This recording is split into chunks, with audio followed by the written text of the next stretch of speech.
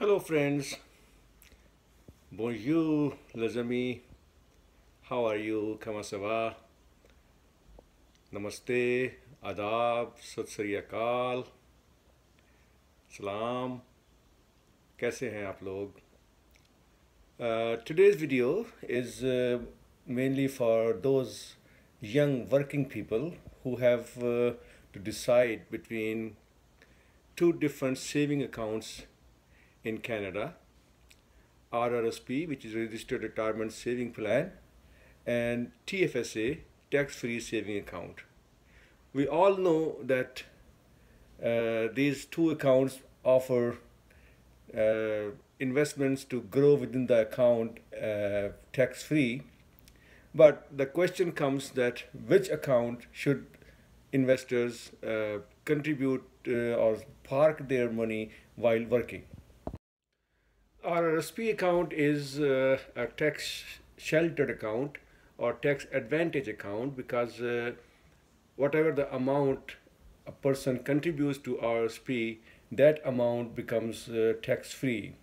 So the the saving account RSP was established in Canada in 1957 and in 2020 18% of uh, gross income or to a maximum of $27,230 uh, for 2020 can be contributed into RSP account.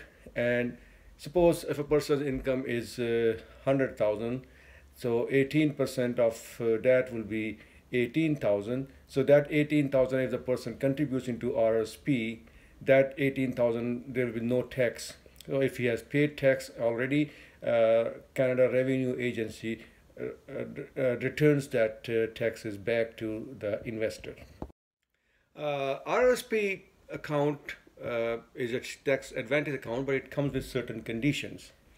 for example, only people over the age of 18 and working, they can contribute into RSP. Although, I mean, if they don't invest in uh, one year or two years or any other year, their room carries forward to the next years and they can contribute all whenever they want. But uh, if they want to withdraw the money from RSP at whatever time, whatever at so they pay in taxes at that time on their withdrawals. So suppose if you have contributed RSP in year one and in year two you want to withdraw that money, so you have to pay uh, taxes on the withdrawals. But since uh, money grows within the RSP account tax free, so but, but until unless you don't withdraw, you don't pay any taxes. One more important factor is that the person, if he doesn't want to invest into his own RSP account, he can open a spousal account, a spousal RSP account, and uh, he can contribute his uh, share of income into spousal RSP account, and uh, uh and uh, also this does not uh, impact negatively the contribution room for the spouse. Uh, the person can also withdraw money tax free from RSP account for uh, buying his first house. So if the person is a first time house buyer, he can borrow up to $25,000 from his RSP account, but he has to pay back that 25,000 uh, within 10 years and on, he will not pay any taxes on that 25,000. Similarly, if the person wants to uh, spend money onto education, $10,000 can be uh, withdrawn tax free from RSP account but has to be paid back. Uh, one important point to note is that whenever a person uh, withdraws money from RSP account, he cannot pay back uh, to the RSP other than the first time home, home buyer or for the education purposes. So the room for the contribution disappears uh, once the person withdraws. Uh, and the second point is important that uh, you cannot keep your money forever in your RRSP account because starting age 71, uh, RRSP account automatically converts into RRIF account, which is a registered retirement income fund. And the person has to withdraw starting age 71 a minimum amount every year and then pays the taxes on that minimum amount according to the then uh, tax rate. TFSA, which is a tax-free saving account, was started in 2009 in Canada. Uh, This uh, is also a tax advantage account because uh, whatever the contribution a person makes into that account, the money grows tax free and even at on withdrawal there is no taxes on the growth of the income or on the income. So the difference between TFSA and RRSP is that TFSA you don't get any tax break when you contribute, but your money grows tax free. In RRSP you get tax break on your contribution, but you pay taxes when you withdraw money. Uh, in 2020, the contribution room to TFSA is 6,000. And if a person has not contributed at all into this uh, TFSA account, so since 2009, the, uh, the total contribution limit into your TFSA is now 69,500. So if you contribute that $69,500 uh, into your TFSA account, that money will be growing tax free and you can withdraw anytime you want. And then if suppose in year one you withdraw some amount from your TFSA account for any purpose, you can pay back uh, that amount next year.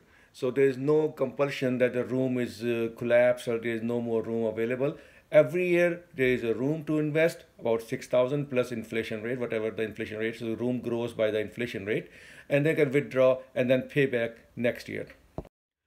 And also you can keep your money in the TFSA account for indefinite period. There is no mandatory withdrawal limits uh, on your TFSA account as uh, it happens in RSP account because RSP you have to start taking money after 19 uh, after you turn age 71 in TFSA, there is no mandatory limit. So now we have a question, and the question is a tough one, and I call this uh, the Canadian investment dilemma because we want to know should we contribute into RRSP or into TFSA. So it looked like uh, a very interesting uh, game theory problem that we use mostly in economics, where we have uh, uh, two players and uh, two options and two strategies, and then we pick up the best strategy, compares the payoffs. So I applied the same uh, game theory approach to answer the question to determine which account is better for me when I want to invest. So I have to decide which one is better, TFSA or RRSP account. So let's see, and I show you the results here. Now this uh, game theory solution and uh, the person has two lives. In the first life he is working, in the other life he is retired. There are two possibilities that uh, when he is working he would have either high income or low income. And same thing when he retires he would have either high income after retirement or low income after retirement. So this gives us four possible solutions or four possible scenarios. The first scenario is that a person has high income while working and high income when retired. So doesn't expect any decline in his income and he pays the tax rate remains almost unchanged. In that case, whether a person contributes to RSP this time and withdraws, he pays the same tax rate. So in that case, the best option for that person is to contribute into TFSA from his uh, after after tax uh, income so that he whatever the money he makes in his uh, TFS account he can withdraw at least that equity gain tax free second scenario is he has high income and low income. So of course if his uh, income is high today for example 40% if, if, if his uh, tax rate is 40% and if, when he retired his income goes down substantially uh, maybe a tax rate goes down to maybe 20% so the person is better off contributing into RRSP. However, one point is important to note here is that when we compare high income and low income after retirement, we should also consider the spousal income. So if the spouse of that person uh, expects low uh, income and low tax rate, so then this working person, whether he has a high income, should contribute into RRSP account because his uh, spouse would be able to withdraw at a lower tax rate and uh, his income uh, would generate uh, some benefits. Third scenario is a person who's working has low income in working time but during retirement he expects high income. This scenario is possible because maybe the person uh, has uh, some inheritance or some uh, wins a lottery and gets high income and then his because of that high income his tax rate increases while he's over 65 or when he's retired so in that case uh, it's better for the person to contribute into TFSA why? Because his income is low. If he saves into RSP he will not save much into taxes. And when he will take the money uh, out from our uh, from RSP account he would have to pay higher tax rate. So it's better for this person whatever the savings he has while he's working and he's at low income category he should contribute into TFSA fourth scenario and the final scenario is a person who has low income now and retired. When he retires he has also low income so in that case his person is indifferent between contributing or delaying its uh, taxes now versus later. Because if the person is making less income today his income tax rate is low today and when he retires his income is low and his uh, tax rate is still low so he doesn't make any gain out of uh, the tax uh, account RSP account. So for this person if he has some saving he should contribute into TFSA so in total out of four scenarios three scenarios are going in favor of TFSA and only one scenario where high income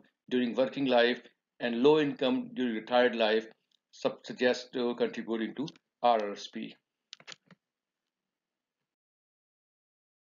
So thanks for watching and uh, if you like uh, to know more about uh, upcoming uh, topics, please subscribe to my channel. Press the bell button so that uh, you can be notified whenever there is a new video available. Thank